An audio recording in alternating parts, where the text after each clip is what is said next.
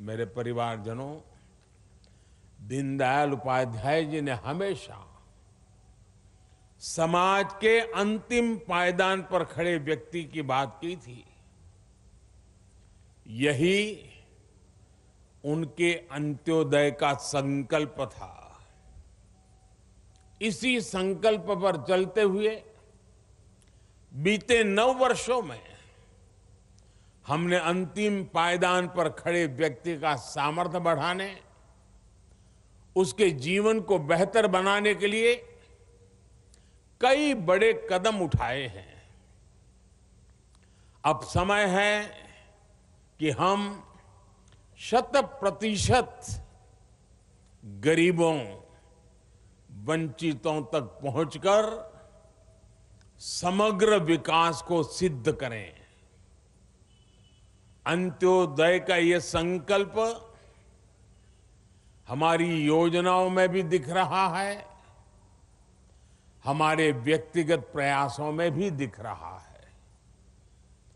आज़ादी के अमृत काल में हमने सेचुरेशन यानी जन कल्याण की हर योजना को शत प्रतिशत लाभार्थियों तक पहुँचाने का संकल्प लिया है।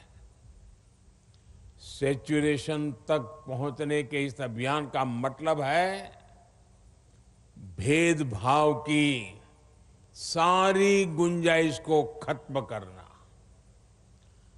तुष्टीकरण की आशंकाओं को समाप्त करना। स्वार्थ के आधार पर लाभ पहुँचाने की प्रवृत्ति को खत्म करना।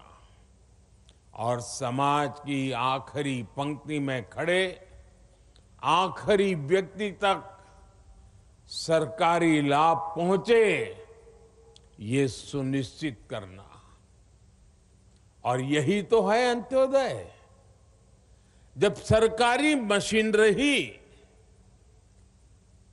मशीनरी खुद ये लक्ष्य बना ले कि उसे हर पात्र व्यक्ति तक पहुँचना है। तो फिर पक्षपात, भेदभाव टिक नहीं पाता।